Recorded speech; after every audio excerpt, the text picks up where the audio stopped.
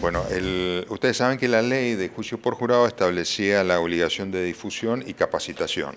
El, gobierno de la provincia, junto con la Corte y desde la Comisión de Implementación, ha establecido herramientas para poder eh, hacer esta capacitación. Ha elaborado un manual que se va a distribuir entre las personas que pueden ser jurados, va a estar en vía online.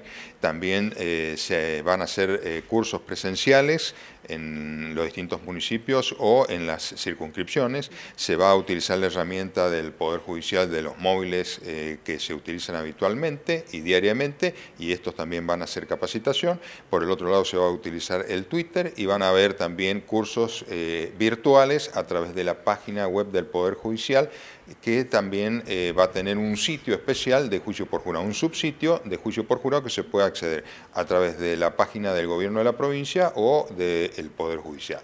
Y con relación a la dirección de escuelas se ha trabajado para eh, establecer en, la currícula una modificación en séptimo grado y en cuarto y quinto grado del colegio secundario.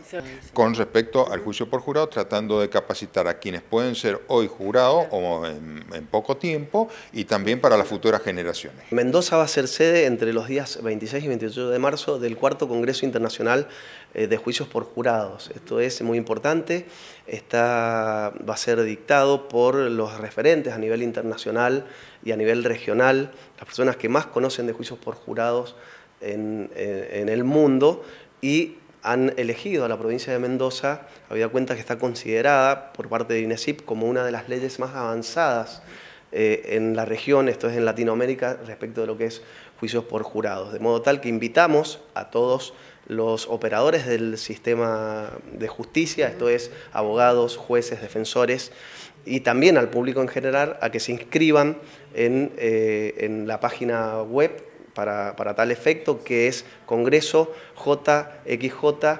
congreso jxj eh, y que se inscriban. Ya había cuenta que es gratis, pero los cupos son limitados.